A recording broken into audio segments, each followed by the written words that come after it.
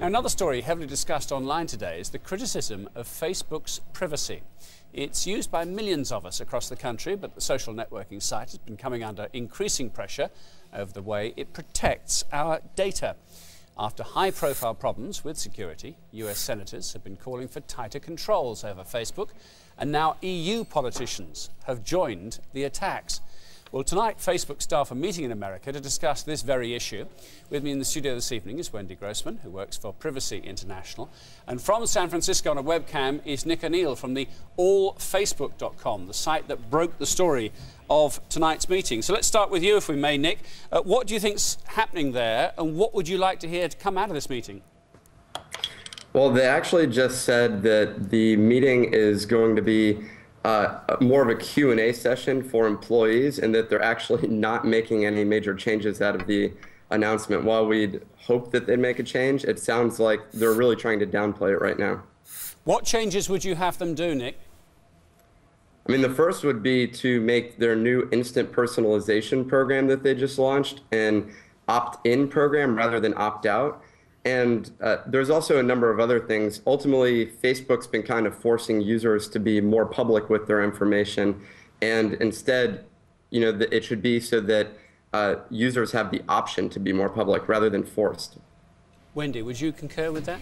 Oh, absolutely. I mean, I think Facebook is is almost a classic bait and switch, where you know they entice users to, especially the earliest users, to sign up by saying, you know, we will keep you in this kind of walled garden where you're safe and you're protected from the net at large, and then all of a sudden everything's searchable on Google and everything's open. I mean, you know, it, it's quite a change, and I think I'm not surprised users are angry.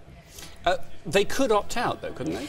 They can opt out, but you know, I've been using computers for 30 years, and I find privacy, the privacy controls on Facebook really difficult. I can't imagine what it's like for somebody who's, you know, the archetypal my mother that geeks always talk about. I'm never mm. really clear why geeks have such a low opinion of their mother's intelligence, but you know, yeah. this is what you hear all the time.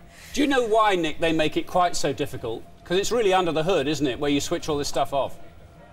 Well, so there's two things. There's how complicated Facebook's privacy settings are and what their intention is.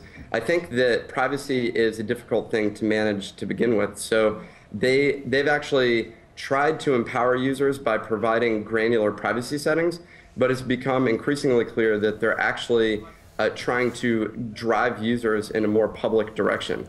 So there's kind of two uh, uh, sides of this, and there, it's almost like there's a lot of internal conflict about uh, what's the right way to approach this. But Nick, don't you also think that it's a typical kind of geek interface problem that a, lot of technology companies have gotten user interfaces wrong over the years, and it's one of the things that happens in a very young company like this one? It's only six, six, seven years old. Yeah, I mean, the, there's always an issue when you have a technology company where the developers are the ones that are driving the interface. Uh, I mean, there is a design team and a user interface team at Facebook, but but it's that's always definitely an issue. Okay, Nick. Well, we'll wait and see. I think the meeting's happening your time. You're on the west coast around about now, and if it is just the uh, staff chat, maybe there won't be any dramatic announcements. We'll wait and see if anything happens out of there. Uh, Nick O'Neill and Wendy Grossman, thank you both very much.